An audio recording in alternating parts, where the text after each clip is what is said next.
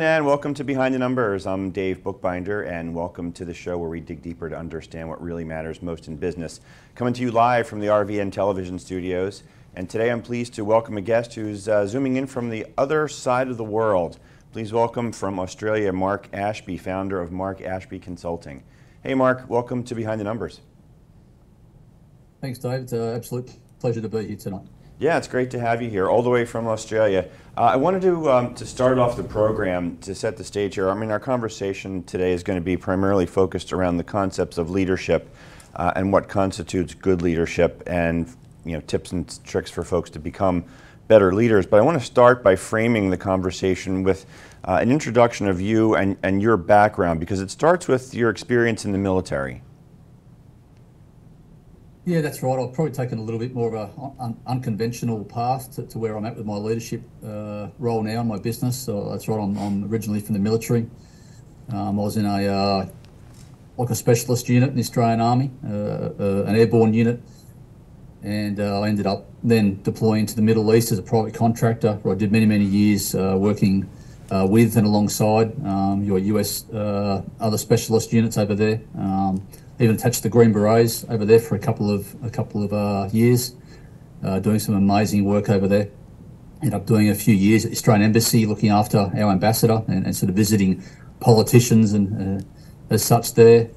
And I ended up coming back to Australia about 2016 after 11 years in Iraq. I think something like 1,600 missions, which was a, a, a pretty a pretty incredible time and uh, went off to university at, at 48 years of age to do my master's degree and, and then started my own my own sort of uh, consulting uh, leadership sort of uh, crisis awareness culture business which I've been doing ever since which I absolutely love.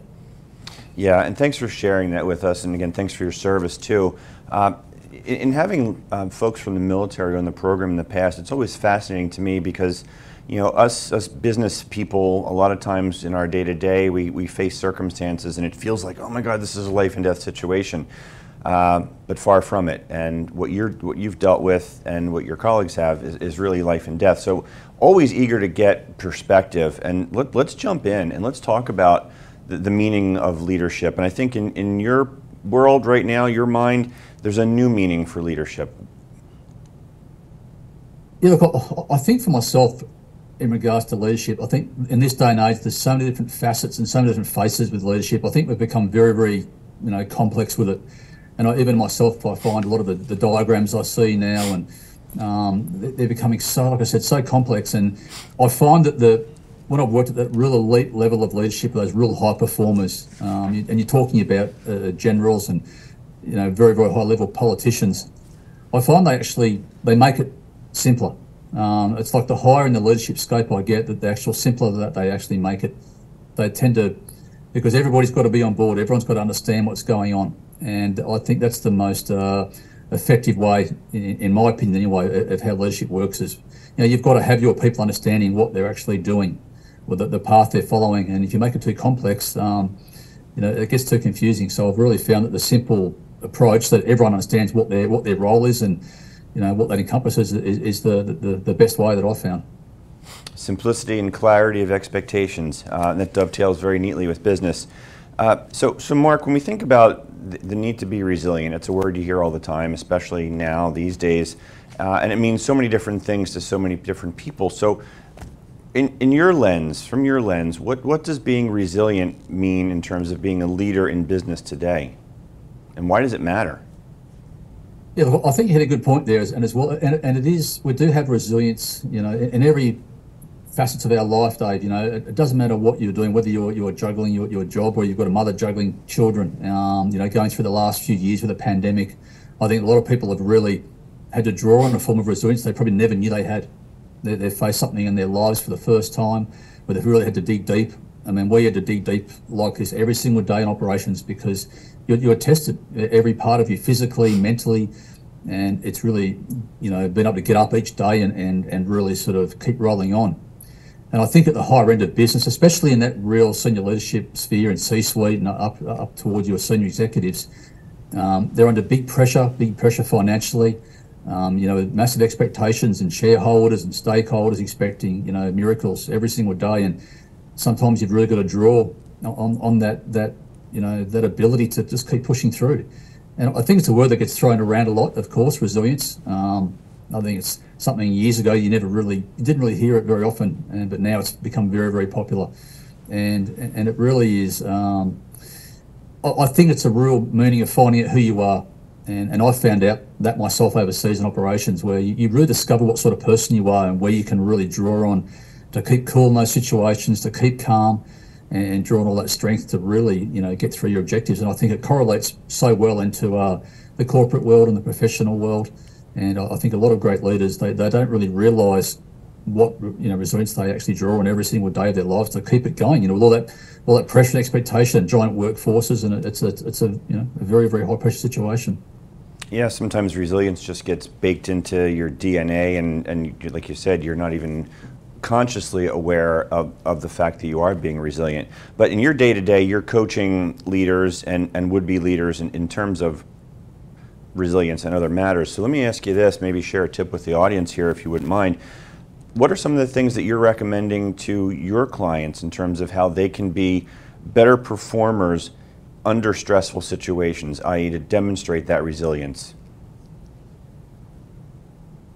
I think a, a lot of the, and I'll probably re- reverse engineer it a little bit here. I think a lot of the, the leaders I work with that actually have issues, maybe, maybe they've got an issue with the business. Um, and I think a, a lot of what I find is that they may have a, an external pressure coming in that actually affects their, you know, their, their day-to-day operations. Maybe they're, they're thinking it's their staff are the problem. Um, sometimes I actually find out it can be the person directly, and it can be sometimes, and I find this a lot. And like I said, they may have an ex, an external problem where they're going through a, a bad marriage breakdown. They've got custody battles, you know, deaths in families, and this affects directly the business itself, and, and you know, it affects that person, and it just filters down through the whole workforce. And I think a big tip, you know, really is you've just got to really, as a leader, you've got to understand you've got this big responsibility, um, you know, hanging over your people, and it's your it's your job to actually be that be that inspiration for those people as well. You've got to really inspire them. You've got to be understanding. You've got to be a person who's flexible. And I think the modern leader is different to what it was 20 years ago. Uh, it's really sort of morphed into a different theatre now. Um, different generation of kids coming through that, expect a lot. They're, they're a lot more, I think, advanced in their thought process than what I was when I was in my 20s to what they are now. They're not afraid to speak up. They're not afraid to leave a, a position if they're not happy now. And years ago, if you had a job, you stayed with that job, but now the kids are happy just to, to take off and go somewhere else. So I think as a leader, you've really got to be adaptive, um, you know, and, and really, uh, you know, in, in, encourage that in the business as well. So there's some of the tips I can take that I, that I give out and to try and remain uh, cool under pressure to take it to, you know, sometimes take a breath as well to what you're doing. And, you know, instead of actually making very, very quick decisions that can be wrong, take a moment to actually think, am I making the right one and try and take the emotion actually out of that decision making process. Yeah, you said something that, that resonates there in, in that response, Mark, when you talk about how um, sometimes your, your people may have some underpinning circumstances that you may not be aware of, like they're dealing with a death in the family, they're going through a divorce, caring for an, elderly relative, something like that, that may have impacted their performance. And so easy for someone to just see the missed deadline or someone showing up late and make assumptions. Um, but you're, you're encouraging the, the deeper dive. So let me just dovetail that into uh, I know you're a believer that leadership is really about the heart and the mind. Maybe you can speak to that just a little bit more.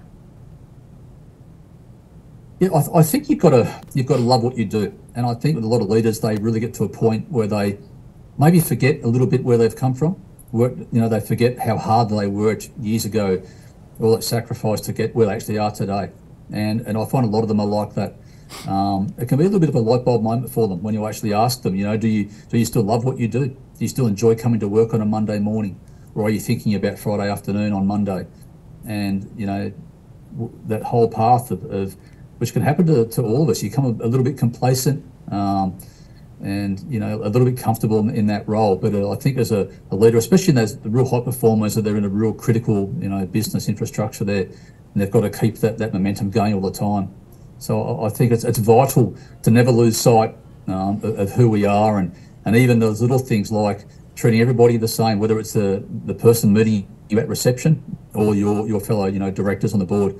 Um, you've got to you know really understand that everyone's it's, it's, like a giant wheel, it's a giant machine, and I learnt this in the military that everyone's got their their, their piece, everyone's got their, their you know their sort of um, their moment in the sun, and it's like a giant cog, and if you lose a, a cog off that wheel, then the, the thing doesn't work as effectively. So you've got to have everybody you know working in the same sort of um, momentum as well. So I think it's very important though that leaders really understand that you know where they've come from and and and just still really like I said like what they do. Because if you don't love or like what you do then what, what's the point? Yeah true. Uh, Mark for any folks who are watching and listening if they want to learn how to get in contact with you work with you what's the best way for them to connect? Yeah not, nice and simple. I'm, I'm quite active on LinkedIn as well. Um, my my website is just markashbyconsulting.com and my uh, email to the to the um, my personal email to the website is uh, mark at markashbyconsulting.com. Yeah, and, and just um, and I'm, I'm, yeah available all the time. And and just to be clear for the audience, you are working with clients around the globe, right? That's correct. Yeah, yeah, I, I do. Uh, I've got a very big history with uh with the, the like I said, the U.S. military and, and clients in the U.S. and uh, also in um, uh, Europe as well. So absolutely international. Yeah, and that's great because this is an international audience. We've got listeners in 74 countries right now. So be sure to reach out to Mark. Mark, you mentioned something about being a high performer, and I want to just explore that a little more deeply as you connect the dots between the definition in the military and the definition in business. What does it mean to be an elite high performer? I think it's a term uh, years ago that I didn't really understand. I, I, was I was hearing it when I was over in the Middle East, especially in the early 2000s, around about 2004 and five. And I heard it for the first time over there. I really remember it, and I was very curious. What is what is a high performer? What constitutes a high performer? And I always attribute it to maybe uh, sporting teams, and and maybe the elite people in sporting teams. Uh, you, you might have somebody like Michael Jordan in basketball, and everyone may see him as a high performer. But I soon I soon learned to realise that there are a small group of people um, they're, they're, people that they never sit still or idle, and they want to get the best out of themselves, the best out of their people around them. I found a lot of the ones I've worked with, they're more than happy to share their, their wisdom and their secrets because they're so focused on, on moving forward with that momentum that, that they're not really uh, holding it in too tight about what they do. I find the, the ones more on that comfortability area in, in the executive level will be uh, more inclined to keep it to themselves about their you know their own success stories because they're comfortable being there. Where the high performers they want to keep on advancing and they, they, they just don't want to be you know good. They want to be great. It's a bit of a cliche, but that's how I see them. They, they want to be different. They're not everyone's cup of tea. Sometimes they can be a, a little bit uh, you know maybe the words prickly at times. They're the real high performers, um, but the ones that I've had the pleasure of working alongside and, and for have been yeah great great role models and great examples to me about getting the, the really the best out of yourself and the best out of the people around you as, as well. Yeah, Mark, do you think it's possible to take an average performer and make them elite, or is it something that's e- either you have it or you don't? I, I tr- yeah, it's a very good question, is it? And, and I'm, I'm, not the expert that can say that, but from my own opinion, I, I, think a lot of those people, like a lot of maybe elite sportsmen, that they're born with it. They really are born, and they can just enhance it so easy. And they, if they make a big mistake, they don't panic. They just uh, attack from a different angle until they're successful. Um, you know, that they maybe will lose everything, but they don't give up. They've got a dream and they keep going and, until they actually get it right. And uh, can can it be, be taught? I think to a certain degree, but I think things like that as well. It, it really comes, it's, you know, really comes natural. It's like those sporting champions where they make it look easy. It's, it's sort of sort of a similar correlation, I think. Yeah, you mentioned that sometimes high performers can be a little bit prickly, and to continue the uh, the analogy of the sports um, I like to analogize in football the wide receiver position, for example. A lot of great talented receivers historically, but there's been a number of them that have been, uh, we'll call them problem children, off the field. So there's the balancing act between the high performance and, and the bad locker room component. How, as a leader, do you then reconcile this high performance and some of the negative components that come with that so that they're you know, actually playing well with others along the team? Yeah, that's a really good point. I, I had a, uh, a, gentleman a while ago. Um, he's a CEO of a company back in Sydney, and very similar things. He got me in to, to get rid of a lot of the toxic problems in his company. I, I soon worked out that he was actually the problem. And, and that was through meetings with his staff and, and management. Eventually, as you, as you know yourself, when, once you're in an organisation long enough, the truth eventually filters out. People start to talk as they get more comfortable with you. And I feel it's something that I've always been quite good at is, is getting the best out of people and, and gaining their trust. So when I discovered it was him, um, I actually got him out of that office environment. Um, him and I went and had lunch together away from there, and and really, um, you know, gave him the honest approach about, you know, why the business was suffering and, and, that he really had to change his ways. He had this incredible organisation, this amazing workforce that worked for him. They loved working, you know, what they were doing, but they weren't happy in the workplace. And I go back to what I was saying. I told him, I said, they're going to work Monday morning, and all they're thinking about is is Friday afternoon. And I said, you know, do you want your people coming here loving what they do, and then you'll get more out of them, or do you want them continuing as they are, and you're going to keep losing staff, they're going to keep hemorrhaging, and, and eventually it, will fall over. And I said, you've got this in the palm of your hand, and the ability to actually really do something amazing here. And, and I worked in the end. I found out he was actually going through a really bad divorce with a custody battle, and he was taking out a lot of that out on his staff and the business. And and it was a good story then because he really sort of listened and, and I think saw the errors of his own ways, like, like we all have to do. And uh, and, and he, he's thriving now. So it's um it, it can be done, of course. Yeah, and when I was working on what was uh, my first book and, and, talking with some Harvard researchers around toxic employees, um, I, I, came to understand a, a not so fun fact that oftentimes the toxic employees are in fact more productive than your average employee. So this is a real issue that folks are dealing with with high performers day to day. Um, Mark, we're going to have to take a quick break here, so you don't go anywhere. You folks watching and listening at home, don't go anywhere either. We'll be right back on Behind the Numbers after we take this quick break.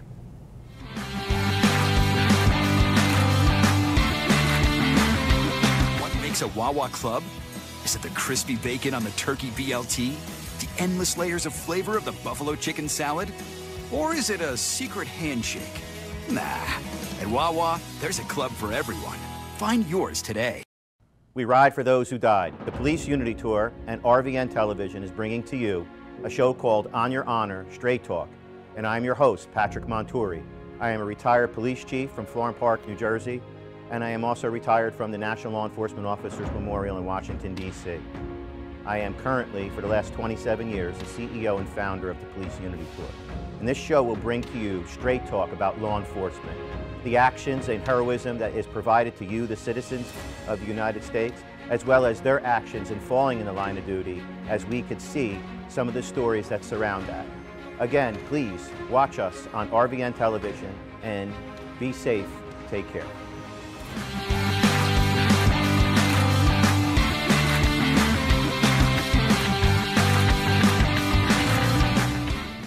And welcome back to Behind the Numbers. I'm Dave Bookbinder, and we're talking leadership with Mark Ashby of Mark Ashby Consulting.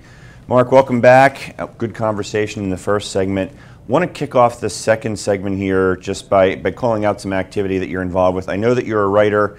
Uh, you do some work for uh, a magazine. Why don't you share that with the audience and, and tell them where they can find some of these musings? Yeah, I, I write a uh, monthly column in the leadership sphere for a, a fantastic uh, magazine called Industry Expert. Uh, the magazine's based out of um, Victoria, out of Melbourne in Australia. Um, uh, the, the, lady that, that, runs the magazine, Mary Henderson, she's a fantastic lady. Gave me this great opportunity to give me a real open book, you know, where I can really write about the, the things that I that I love and what's current with with leadership. Um, my last my last article was actually on. Uh, it coincided with with sort of International Women's Day, so I wrote about female leaders and the transition that they've had from, you know, like I suppose the early 70s and 80s and and through the uh, the big you know ASX companies and, and, and where leadership for females is you know progressing into the future. So that was it's, it's quite an exciting um, exciting times. Good stuff.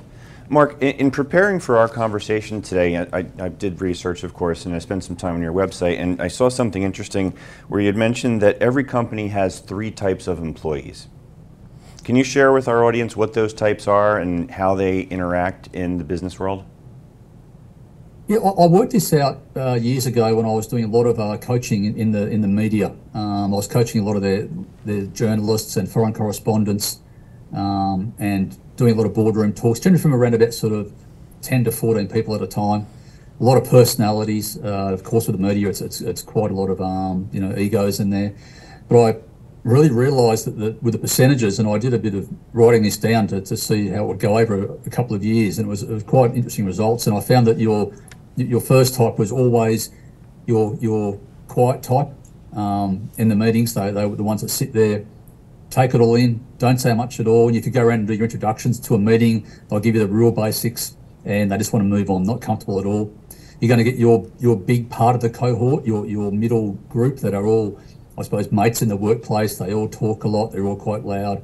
Um, and then you can, without a doubt, every meeting you're going to get you a couple of alphas, you a couple of alpha men or women. I've seen it in both both uh, aspects that really are going to do you know, the majority of the talking. And I find that that then flows out, of course, into the workplace. And my favourite aspect is to always be cornering the quiet ones outside of the, the meeting. You know, we have a break and maybe go for a coffee in their coffee room. I'd always corner the, the quiet ones and try and find out more about them and who they are. And once you get their trust, I find the quiet ones are the ones you'll find out all, all the information about the company, how it works. Very, very interesting dynamic, and it's just, I suppose, human nature. Some people are really comfortable in that meeting environment. It's like being on camera, and other people like they really struggle with it. But I found the quiet ones, they sit back and they really absorb and they take everything in. But when they do talk, they've got volumes to actually, uh, you know, to talk about. Yeah, and that's uh, what I've been reading and hearing too from uh, the research that I do and, and leaders that I talk to as well. So, what's your counsel then, Mark, for how to get the most out of these quiet uh, employees? Because, like you said, they're they're the ones that, that tend to know more, but how do you get that from them?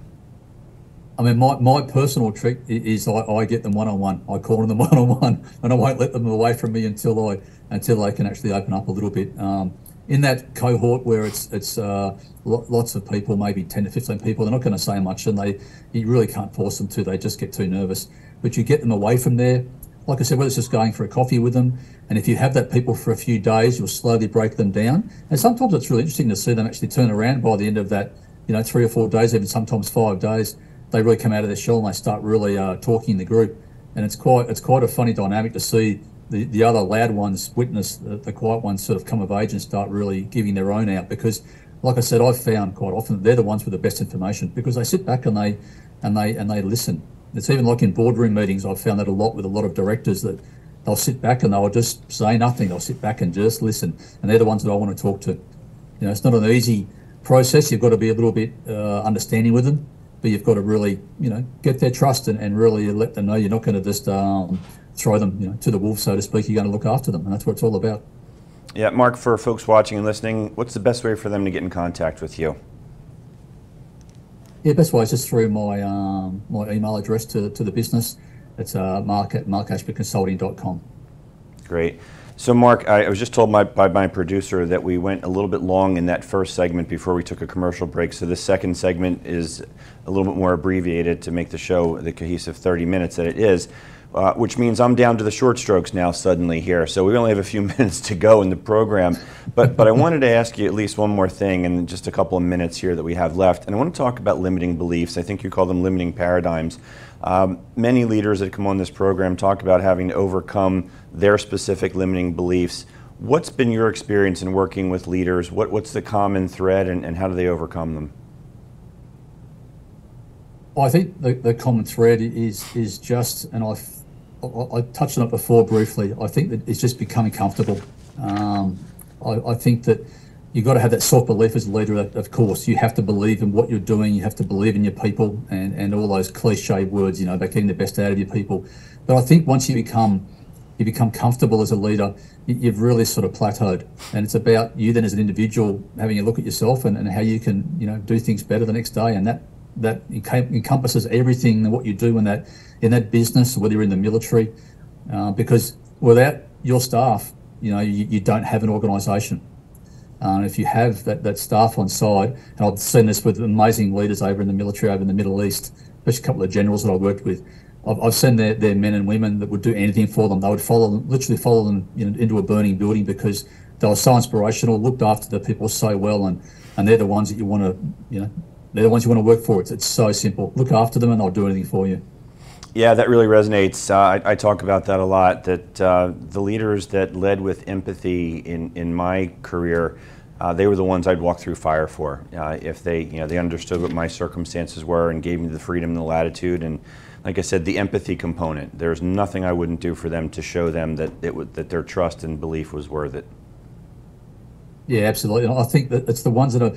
A friend of mine, he actually said a great thing to me. He said, the leaders that you'll you'll love in the future, the ones that you maybe haven't seen for ten years, and you'll be walking down the street and you'll see that person, and rather than crossing the street to avoid them, you'll actually embrace that person and you know catch up with them for a, a chat or a coffee, whatever it is, versus the other one that you, you just don't want to associate with. And I think that's a really good indicator of, of how well that leader's done. Yeah, and for the audience watching and listening, if you have a leader that uh, you've really appreciated, that's led with empathy, and you would walk through fire for them, if you haven't talked to them in uh, some time, definitely reach out to them. I know they'd appreciate hearing from you. Mark, unfortunately, we are out of time, but I want to thank you so much for being on this program and sharing your thoughts with us today. Oh, it's been an absolute pleasure, David. Thanks very much for having me. Our pleasure here as well. And once again, I want to thank you, the audience, for watching and listening to this program. We can't do it without you. Please crush that subscribe button so you stay in touch with all that we're up to. We drop an episode pretty much every week. Uh, thank you to the folks in the production room back there for making this show go smoothly as it always does. And again, my name is Dave Bookbinder. I'm the author of the new ROI series. It's uh, two best selling books about the value that people contribute to a business enterprise. You can check them out and connect with me at newroi.com. That's all we have for today, folks. We'll see you next time on Behind the Numbers. Take care.